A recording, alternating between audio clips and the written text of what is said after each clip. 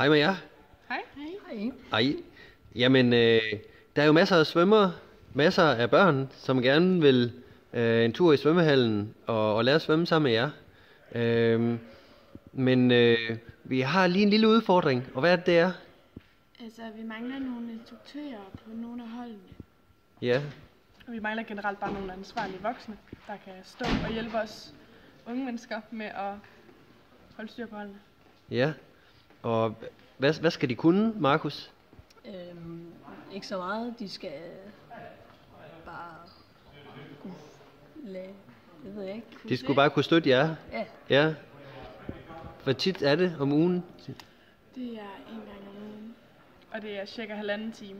Ja, okay. Så hvis der er nogen, der har lyst til at hjælpe jer, øh, så skal de endelig bare melde sig. Ja.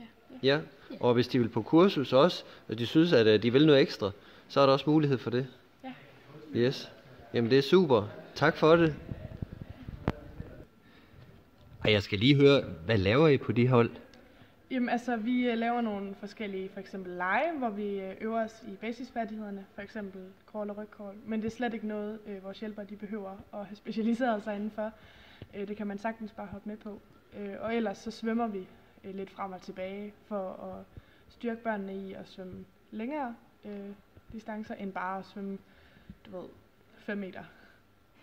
Men hvis man har nogle idéer, som øh, selvom man er lidt ny i det som, som træner, så må man gerne byde ind med dem. Ja, så kommer man bare og siger til, så skal vi nok tage dem op.